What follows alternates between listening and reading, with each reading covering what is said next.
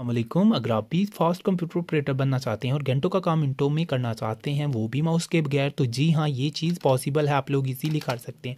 सबसे पहले आप लोग कंट्रोल प्लस ए को प्रेस कीजिए और इसके थ्रू आप लोग किसी भी डाटा को या किसी भी पैराग्राफ को सिलेक्ट कर सकते हैं। उसके बाद कंट्रोल प्लस बी को प्रेस कीजिए और आप लोग उस सिलेक्टेड डाटा को बोल्ड कर सकते हैं या आप लोग उसको नोटपैड में पावर पॉइंट में बोल्ड कर सकते हैं। इसी तरह अगर आप लोग कंट्रोल प्लस सी प्रेस करते हैं तो आप लोग उस डाटा को कॉपी कर सकते हैं, जो आपने सिलेक्ट किया था।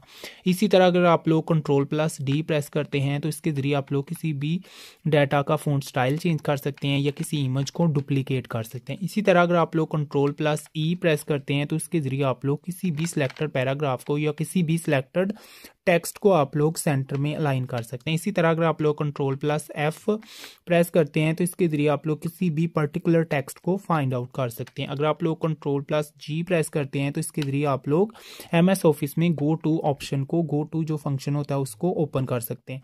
अगर आप लोग कंट्रोल प्लस एच प्रेस करते हैं तो इसके ज़रिए आप लोग किसी भी डाटा में फाइंड एंड रिप्लेस ऑप्शन को देख सकते हैं और उसके साथ साथ आप लोग इंटरनेट की ब्राउज़र हिस्ट्री को भी फाइंड आउट कर सकते हैं। उसके बाद अगर आप लोग कंट्रोल प्लस आई को प्रेस करते हैं तो इसके थ्रू आप लोग किसी भी चीज़ को इटैलिक कर सकते हैं, यानी तिरछी लिखाई में चेंज कर सकते हैं। इसी तरह अगर आप लोग कंट्रोल प्लस जे को प्रेस करते हैं तो कंट्रोल प्लस जे के ज़रिए आप लोग जस्टिफाई को आप जस्टिफाई ऑप्शन को ओपन कर सकते हैं, जिसके थ्रू आप लोग जो आगे पीछे की लाइनें होती हैं, उनको इक्वल साइज़ में अरेंज कर सकते हैं। अगर आप लोग कंट्रोल प्लस के को प्रेस करते हैं तो इसके ज़रिए आप लोग किसी भी लिंक को इंसर्ट कर सकते हैं, किसी पर्टिकुलर सॉफ्टवेयर में या किसी पर्टिकुलर अपनी फ़ाइल में। इसके बाद अगर आप लोग किसी भी कंट्रोल प्लस एल को प्रेस करते हैं। कंट्रोल प्लस एल को प्रेस करने से आप लोग किसी भी जो डाटा होता है उसको कंटेंट को लेफ़्ट साइड में अलाइन कर सकते हैं। Align content to the left अगर आप लोग कंट्रोल प्लस एम प्रेस करते हैं तो इसके ज़रिए आप लोग पैराग्राफ इंडेंट कर सकते हैं। यानी आप लोग किसी पैराग्राफ में इंसर्ट कर सकते हैं इमेज को, जैसे न्यूज़पेपर्स में होता है। इसी तरह अगर आप लोग कंट्रोल प्लस एन को प्रेस करते हैं तो कंट्रोल प्लस एन के थ्रू आप लोग न्यू पेज को ओपन कर सकते हैं। ओपन न्यू पेज इसी तरह कंट्रोल प्लस ओ को आप लोग प्रेस करते हैं कंट्रोल प्लस ओ को तो इसके थ्रू आप लोग ओपन ऑप्शन को ले आते हैं, जो आपके पास सेव्ड फ़ाइल होती हैं, उसको आप लोग ओपन कर सकते हैं। उसके बाद कंट्रोल प्लस पी को आप लोग प्रेस करते हैं तो कंट्रोल प्लस पी को आप लोग यूज़ कर सकते हैं प्रिंट के लिए। मीन कि आपने अगर कोई फ़ाइल या कोई डॉक्यूमेंट लिखा है तो आपको अगर उसको प्रिंट करना है तो आप कंट्रोल प्लस पी को प्रेस करें तो आप उसको प्रिंट कर सकते हैं। इसी तरह अगर हम कंट्रोल प्लस क्यू की बात करें तो कंट्रोल प्लस क्यू को हम लोग क्लियर द इंडेंट की जो हमने इमेज इंसर्ट की है या जो हमने इंडेंट किया पैराग्राफ उसको आप लोग क्लियर कर सकते हैं। अगर आप कंट्रोल प्लस आर को प्रेस करें तो कंट्रोल प्लस आर को आप लोग, जो आपका टेक्स्ट होता है या कंटेंट होता है, उसको align to right align content to right उसके लिए कंट्रोल प्लस आर को प्रेस कर सकते हैं।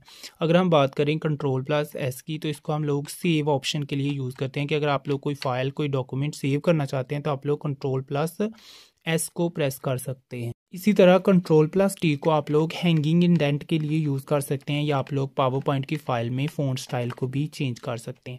इसी तरह अगर आप लोग कंट्रोल प्लस यू को प्रेस करते हैं तो कंट्रोल प्लस यू को हम लोग किसी भी टेक्स्ट को अंडरलाइन करने के लिए मतलब कि इसके नीचे लाइन लगाने के लिए यूज़ कर सकते हैं।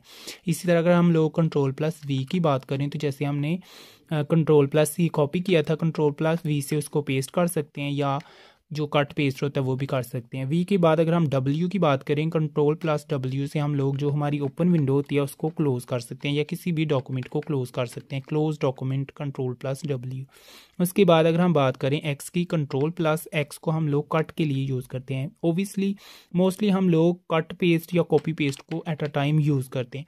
इसी तरह अगर हम लोग कंट्रोल प्लस वाई की बात करें तो कंट्रोल प्लस वाई जो होता है हमारा, इसको हम लोग यूज़ करते हैं रीडू ऑप्शन के लिए।